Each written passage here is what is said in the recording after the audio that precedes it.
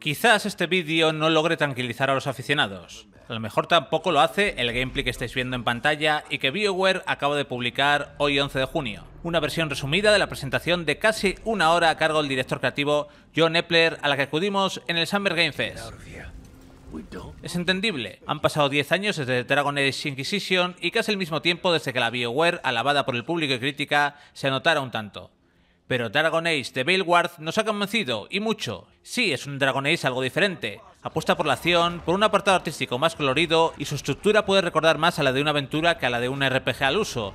Pero todos estos cambios le sientan genial y no afectan al núcleo del título que llegará en otoño a PC, PlayStation 5 y Xbox Series X y S. Por supuesto, eso depende de qué entiende cada uno como núcleo de Dragon Age, pero compramos la visión de BioWare, un juego de rol centrado en una historia rica, con un mundo complejo de fantasía épica donde los compañeros del avatar del jugador tienen mucho protagonismo narrativo y jugable, y donde la trama, más allá de los grandes conflictos, las batallas y los dramas gira en torno a la amistad del grupo y su capacidad de sobrellevar los problemas a los que se enfrentan. Es evidente que el estudio de Electronic Arts ha hecho muchos cambios que comentaremos para llegar a un público más amplio, necesario para sostener una superproducción de este calibre, pero muchos de ellos serán bienvenidos también para los aficionados que dejen de lado el escepticismo. Lo que nos enseñaron fue el principio de la aventura, ejecutado en una versión preliminar para PC que parecía ya muy pulida y que claramente no era un vídeo ya que nos pedían la opinión a los asistentes para elegir las muchas opciones de diálogo que sucedieron durante los primeros minutos un prólogo donde se nos explica la premisa argumental, creamos el personaje, conocemos a nuestros compañeros, nos adaptamos al renovadísimo sistema de combate,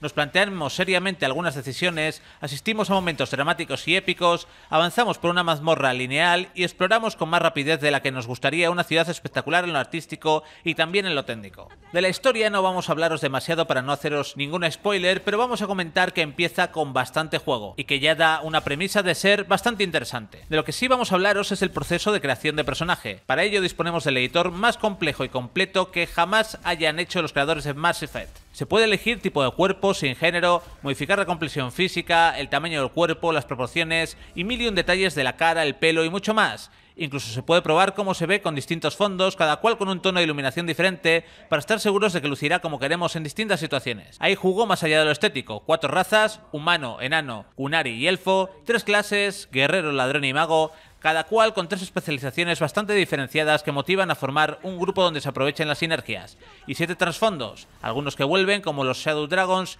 y otros nuevos como la Resistencia que se enfrenta al gobierno tiránico que impera en Tedas. Antes de saltar a la aventura, también se elige el estilo de juego, se puede modificar por separado la dificultad de sus distintas variantes. Esos trasfondos son bastante importantes, tras crear el personaje aparecemos en medio de una pelea en una taberna de Minratos, hasta donde el grupo ha seguido la pista de un enemigo y alguien que puede tener más información sobre su paradero. No pasa ni un minuto hasta que nos empiezan a preguntar cómo abordar una situación, por ejemplo con los puños o con la verborrea, aunque nunca especificando lo que va a ocurrir para que haya sorpresa y tensión, y también con diálogos en los que podemos responder de distintas maneras, por ejemplo, haciéndonos los duros o siendo irreverentes.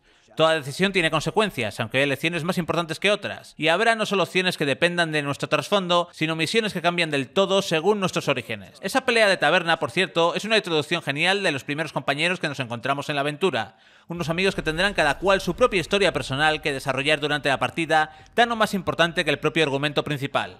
Por supuesto, durante el viaje a lo largo y ancho de Tedas conoceremos a más y podremos desarrollar una relación con cualquiera de ellos sin importar su género. En palabras de John Epler, el director creativo, todos son pansexuales. Hablando del mundo de Cedas, aunque el prólogo era lineal, Dragon Age de Belgard no es un mundo abierto. Habrá una base de operaciones desde la que viajaremos a distintos mundos donde sí tendremos libertad para explorar y cumplir tareas opcionales. Pero nada de eso estaba en la demo que vimos, ya que se trataba de una experiencia lineal más propia de una buena aventura de acción que de un juego de rol, con un ritmo fantástico que nos iba introduciendo mecánicas y conceptos como el renovado combate.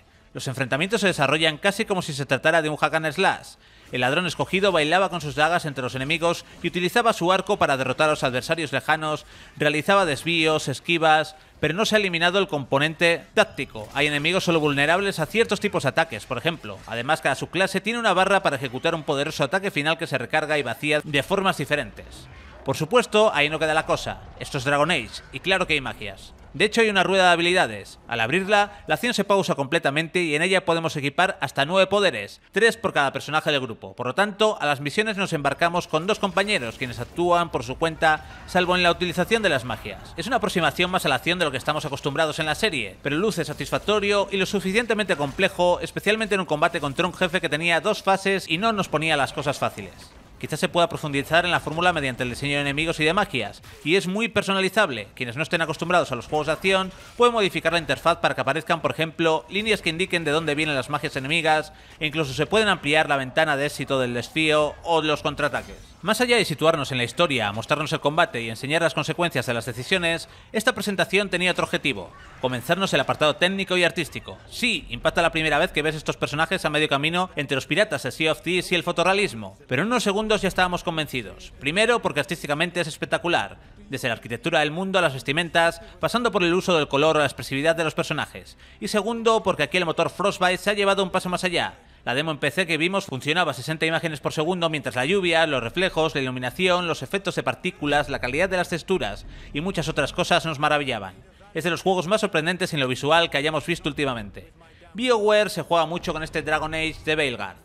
Tras Mass Effect Andrómeda y Anzen, el equipo que creó Baldur's Gate y Star Wars Caballeros de la Antigua República necesita recuperar el rumbo en un mercado donde no le vale un éxito de unos pocos millones. Una superproducción tiene que llegar hoy a un público mucho más amplio que hace cuatro años para ser viable. Se han tomado decisiones para lograrlo, y pese a los prejuicios, nos parecen acertadas. Se acerca el juego a nuevos jugadores, se conserva la experiencia nuclear de estas aventuras y se maravilla tanto a unos como a otros con un mundo y un apartado artístico precioso. No podemos esperar para sumergirnos en Tedas este otoño.